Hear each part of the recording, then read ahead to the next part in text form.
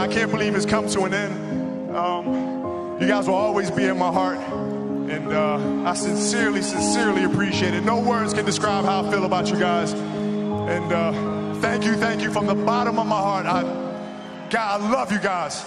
And uh,